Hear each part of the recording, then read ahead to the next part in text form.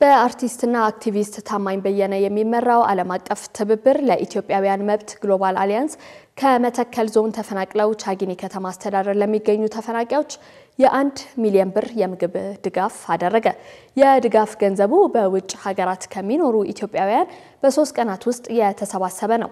በቻግኒ ከተማ አስተዳደር በመገኘት ድጋፍ ካደረጉ አሰባሳቢ ኮሚቴዎች መካከል ፕሮፌሰር ሀቻሜለህ ደበላ እንደገለጹት በመተከል የተፈናቀሉ ወገኖች በችግር ውስጥ መሆናቸውን በመረዳት ወገን ለወገን ደራሽ መሆኑን ለማሳየት በሶስት ቀን የተሰበሰበውን ድጋፍ ይዘው ተገኝተዋል። የተደረገው ድጋፍ ውስን መሆኑን ፕሮፌሰሩ ተናግረዋል። የዓለም አቀፍ ትብብር ለኢትዮጵያውያን መብት አንድ ሚሊዮን ብር የሚገመት ዱቄትና ዘይት ድጋፍ ማድረጋቸውን ጠቁመዋል። ተፈናቃዮች ወደ ቀያቸው ተመልሰው መኖር እስከሚጀምሩ ድረስ ድጋፉ እንደሚቀጥልም ተናግረዋል።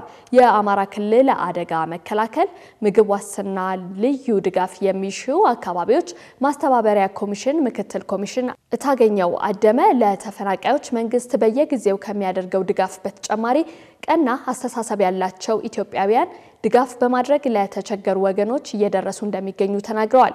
የዓለም አቀፍ ትብብር ለኢትዮጵያውያን መብት በውጭ ሀገር የሚኖሩ ትውልደ ኢትዮጵያውያን ከመንግስት ጎን መሆናቸውን ያሳየበት ወቅት መሆኑን ነው ያስረዱት። በአማራ ክልል በአሁኑ ወቅት ከ100 ሺህ በላይ ተፈናቃዮች ይገኛሉ።